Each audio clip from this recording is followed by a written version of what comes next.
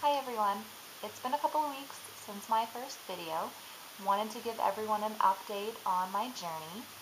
A lot has happened in the last couple of weeks. The most exciting is we got scheduled for our clinic day, which is the trip in which we get to meet our intended parents for the first time. And then we also spend a day at the clinic doing education and some final testing. Um, and that is going to happen in two days. We are getting to travel up there and to meet them. And we are so excited to get to spend some time with them in person.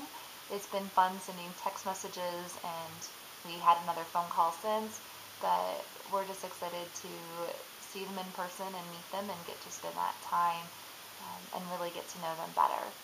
Like I said, a lot's happened in the last two weeks leading up to this. We were able to do power of attorneys and life insurance. We hired a lawyer and have started reviewing contracts. And we also finished new patient paperwork with the fertility clinic and had appointments with both the social worker and the fertility doctor that we'll be working with, and those were done over the phone.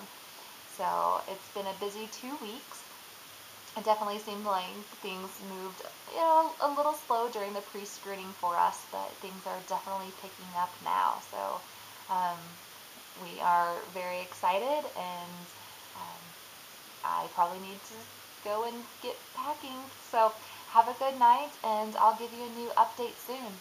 Bye.